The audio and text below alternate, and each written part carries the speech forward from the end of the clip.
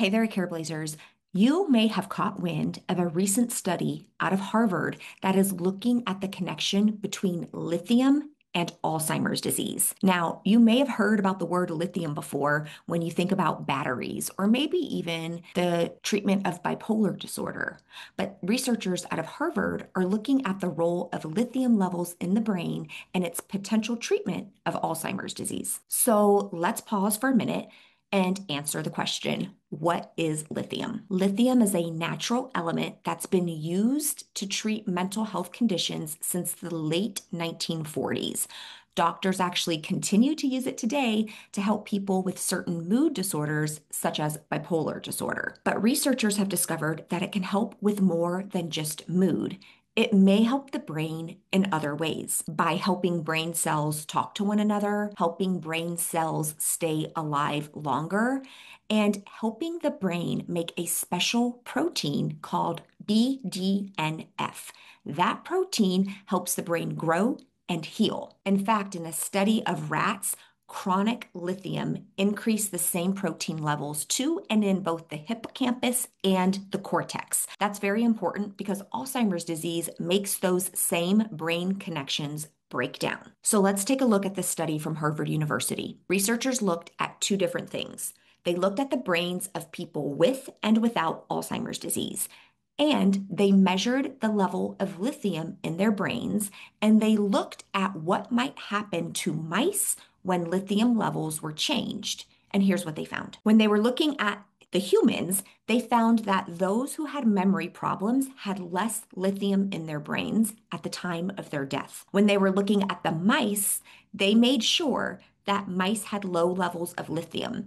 And the brains of those mice who had low levels of lithium had more plaques and more tangles, something we've seen and heard about a lot that happens for people who have Alzheimer's disease. It's connected with memory loss. And so here's the really cool part of the study. The scientists then tried something new. They gave a special kind of lithium, a very small dose, to the mice with the Alzheimer's like symptoms. And guess what? The mice did better. Their memory improved, their brains had fewer signs of the disease and fewer signs of plaques and tangles. So, this study shows that lithium might not just help the brain, but it might be essential to keeping the brain running well. It also suggests that low levels of lithium in the brain may be part of how Alzheimer's disease begins. This is certainly exciting news, something for us to continue to watch for. But for now, here are some important things to remember. Mouse evidence doesn't necessarily equal human cures. The Harvard study is absolutely powerful, but it's in mice and human tissue samples, not yet large human clinical studies. Many trials looking at Alzheimer's or mild cognitive impairment with lithium, they're short, meaning they're weeks to months and involve small number of patients. So what we'd like to see is maybe uh, studies with bigger groups of patients lasting longer to see how long these effects last. Lithium has a very narrow therapeutic window, meaning it's hard to find the right dose to be effective, even the way that we currently use it.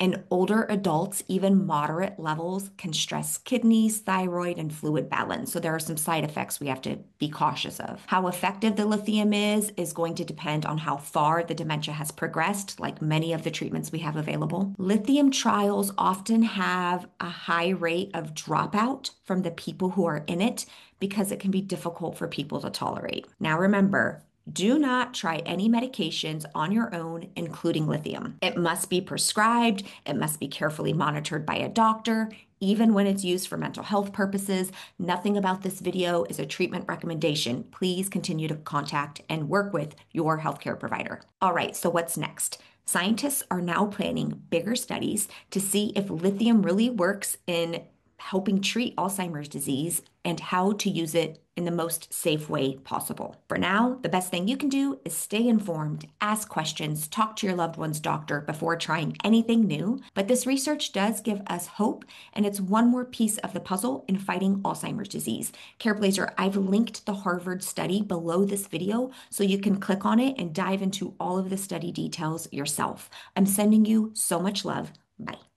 Also, Nico gets a belly rub for every person who subscribes from this video. So if you haven't already, click the red subscribe button. It's totally free, and Nico says thank you very much.